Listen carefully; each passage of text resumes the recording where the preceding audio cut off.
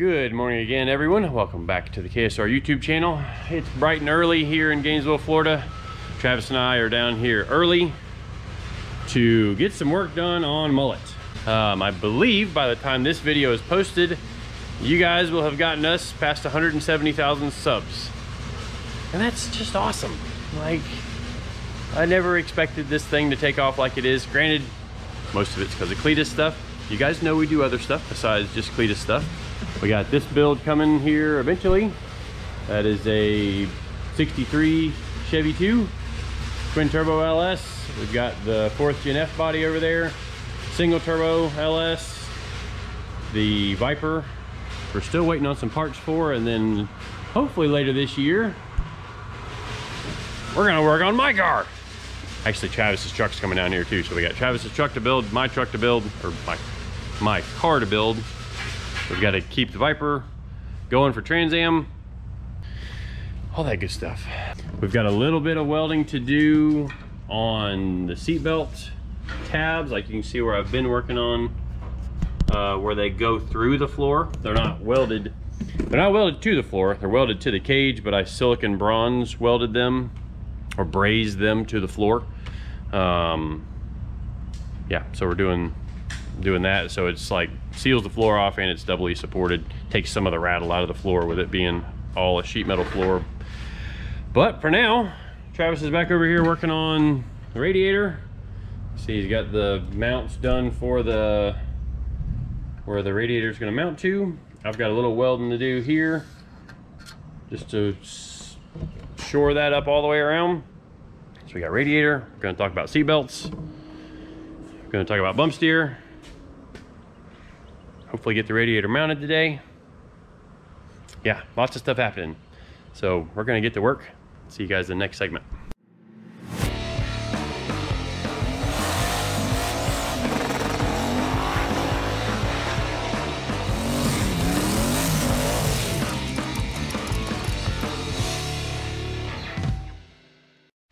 All right, everybody.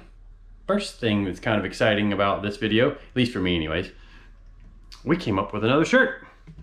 And this is one that I have told a ton of people in person. I don't think I've said it on a video yet. Maybe I have. If I have, I don't remember. But one thing that I say a ton is everything needs a turbo. See, we got the nifty little KSR logo on the front. Maybe that, that's blurry. Come on, Anyways, KSR logo on the front, little splash around it, little blue border. Everything needs a turbo on the back. Winwithksr.com website. Well, I like them. So we will have these at Cleetus and Cars Bradenton, but we're also doing a pre-order where you can order them online. Should be by the time this video's up. You'll be able to go online and order them. And when they come in, when we pick them up or they ship them to us, we will ship them right out to you guys. So I thought it was going to be week and a half, two weeks, which puts us right before Cleetus and Cars Bradenton. If we don't get them until Cleetus and Cars Bradenton, we'll ship them out right after that. If we get them before, we'll ship out all of the pre-orders before we leave for Cleetus and Cars Bradenton. And if you guys haven't checked the driver's list for the Freedom 500, So that's going to be awesome. I get a chance to redeem myself from the 2.4 hours of lay mullets.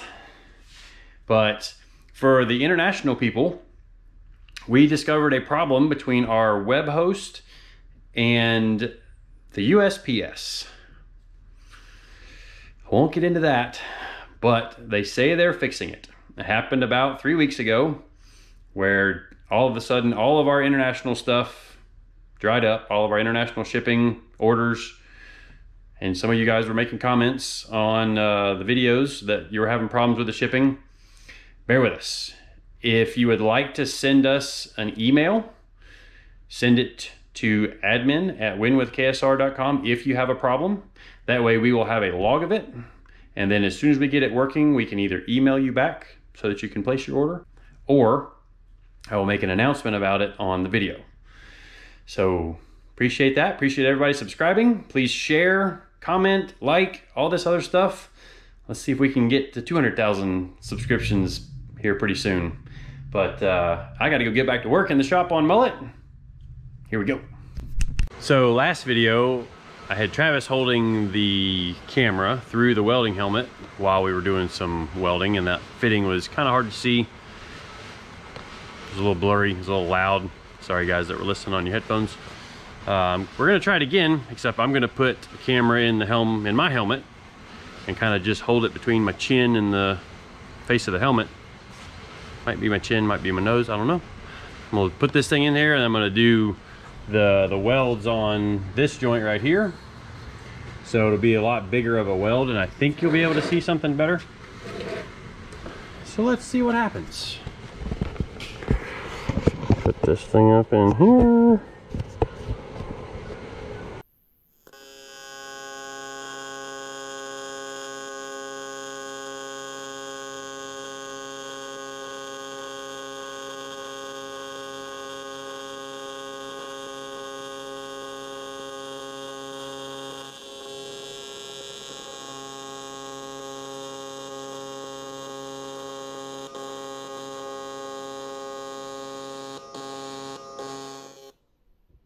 Dipped it a couple times. But I think we'll be alright.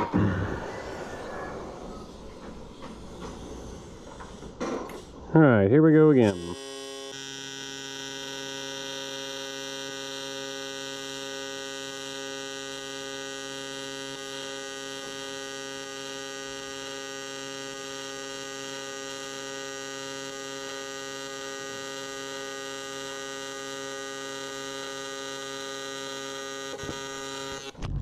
Whoa, shoot!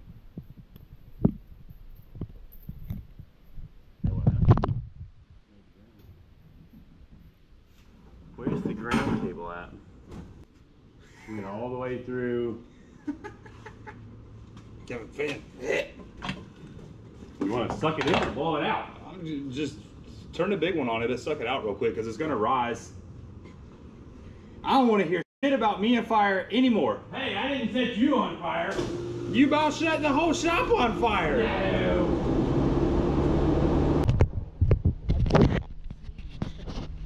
Well, we all make mistakes, right? Oh, I just had a little one that could have been bad.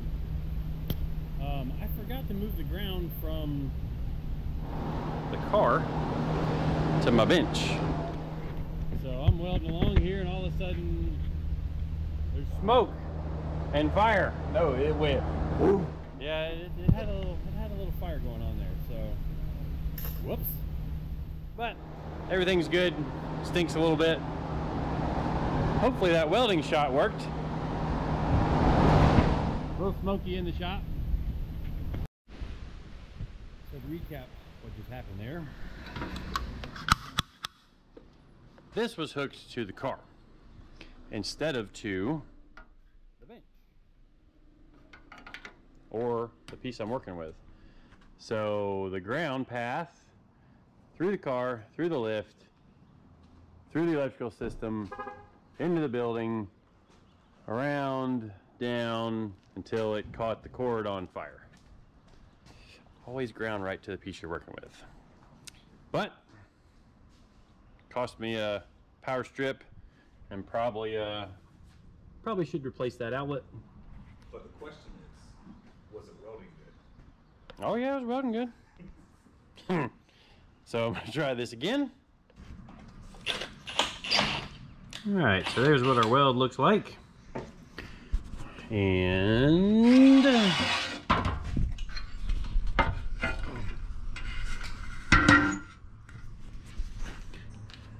also got that welded on.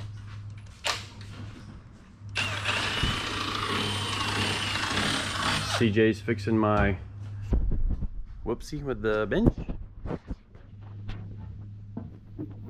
So we had a power strip mounted to the bottom of the table. Travis is mocking up the transmission. You can see our adapter for the speed sensor on the Gear Vendors overdrive is rubbing, but We're gonna bonk a little clearance into that. I can't go too much because the seat is right on the other side of this panel right there. And then we're also working on mounting the dump valve here so that the next time the transmission goes in, it's in for good. See, we got our hole cut for being able to access the band adjustment right there. So band adjustment is right over the right over the shifter, and we'll also be able to hook up the shifter through our through our hole. But coming along. All right, so a little bit of a crazy day, but we got a ton of stuff done. Transmission was in, transmission was out. I should have done a video, but we were too busy thrashing out work because we're on a deadline. We got to get this thing ready for Cleetus and Cars Bradenton. Get this thing down there where you guys can see it in person. So we've got our hole cut for the access to the uh, the band adjustment on the shifter. And yes, there's going to be a cover on the inside of the car. Still need to make, we got to make a patch for this as well. And then back here, you can see where we added a brace for the seat. Uh, this is one of the seat belt holes. It's really close to the bar, so we're gonna make a little, may, may have to like custom fit a nut that fits up in that little trough right there, but no biggie there. The other seat hole will be somewhere out in here. It's already got the hole from the top side through the floor, but does not have the hole through the bottom. This is the seatbelt tab. And for anybody installing their own seatbelt tabs, this is also an anchor for a seatbelt tab. Anchor your seatbelts to something secure. Roll cage, pretty much the roll cage. If your car has a roll cage in it, attach it to the roll cage. Like you can see where the this is the seatbelt anchor on the driver's side for the inside belt and then on the outside belt it actually lands right on top of the bar. But with the passenger side you know we, the car came to us with a floor in it so it's a little bit tougher to to fit tabs on top of a bar when it's already got a floor sandwiched right on top of it. So we did it kind of how we did it over there. Plus that's also seat brace. It's all good there. This is the bottom of the shifter mount you see we welded the studs here so those stick up through the floor for us to do some fabricating on there. I've got the brake lines started on the front. So those are gonna go up. This one just actually goes up to the one side of the line lock solenoid. One over here is gonna go inside the car, up over the transmission tunnel, come back out actually where that green and blue tape is come out through there. For you G-body guys you can see how much this got cut down. I mean we cut over I think we cut near an inch off of this lip. So that's not going to cause us any problems with getting the transmission in and out. Over here on the transmission we welded the temperature the pan temperature sensor into the pan the return for the dump valve this is our dump valve solenoid. And if you guys don't know what that does, basically it softens up the power coupling between the engine and the transmission. Why do we need to do that? For one, it helps spool if you've got a combination that is big turbo, little engine, tight converter because you're making a lot of power. You can dump the fluid pressure that is in the torque converter and the converter will act like a little bit higher stall torque converter. And when you're on a track that's not so great, you can launch with the converter valve open and it softens that apply so it doesn't just want to strike the tire and spin the tires right at the starting line. So that's something we have that we'll be able to play with. Also on big power stuff, you can unlock it right before the shift. It's not really unlocking it. I shouldn't have said that. It's it softens it again. This is not a lockup converter that's in this thing, but it will soften the apply. So this line comes out. This is out of the torque converter. And there's gonna be a T here that takes the line to the back to run to the cooler. But then, actually, well, there's the T right there. So this line is gonna connect to here. And we've got our temperature sensor, our Lowdoller Motorsports temperature sensor that's gonna go into this fitting right here. Whoops. Then this connects to here. And when this solenoid opens, fluid will flow directly back right into the pan. It bypasses the cooler, which bypasses the return circuit. The stall of the converter gets higher, converter acts a little bit looser, makes it get down a track, but it's not as fast. We accidentally ran it, ran a pass in Soccer Mom with it, completely unlocked the entire pass, and it slowed down like almost two tenths and like a ton of mile an hour. I'm in the car driving going, what in the heck? Well, we hurt the thing. And then I found a setting that I had missed or accidentally changed that I didn't mean to change. So it went slow. Anyways, lots of working to get that all situated. Uh, you can see we installed our dipstick, well, the base of the dipstick. And that's a pretty snazzy piece from Lokar. So when you get going fast, NHRA wants you to have a locking dipstick in the transmission. And I'm even gonna do one in the engine as well. But basically, this also helps for getting the thing in and out of a car. See if I can hold this all and do this, okay? So pull that, dipstick is in. And it also, you can't pull the dipstick out without releasing that, and the dipstick comes out. So that way if the transmission ever makes a lot of heat and pressure in there, it will not blow the dipstick out, blow oil everywhere and under the car, and give you a really bad day. So we're gonna have one of these on the engine. Should be here tomorrow. And also transmission dipstick. Little things, little things, little things. All right, so to show you the top side of our seatbelt stuff, you can see where, so there's our tabs for the containment seat.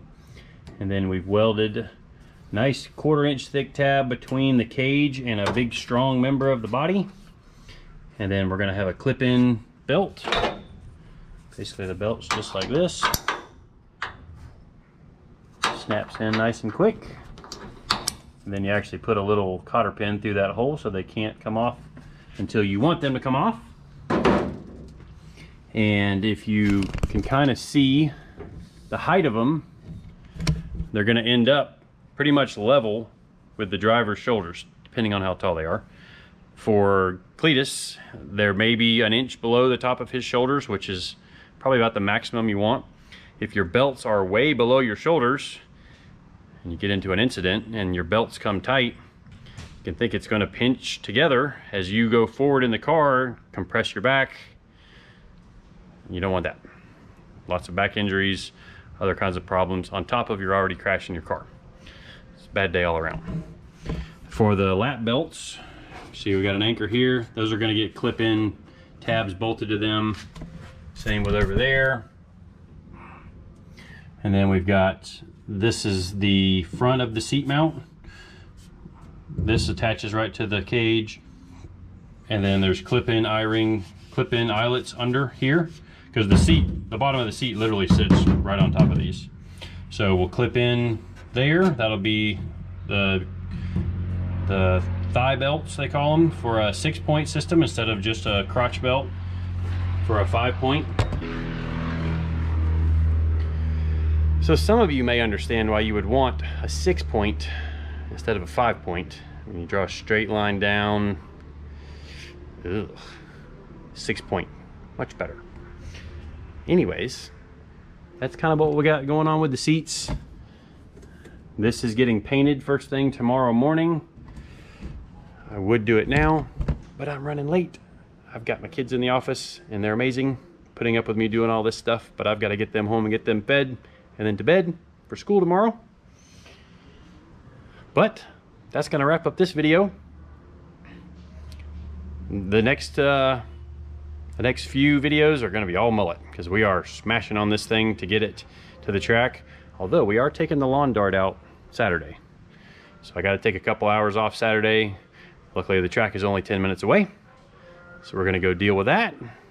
Try to get Dick some good shakedown runs in the lawn dart. But until then, see you next time.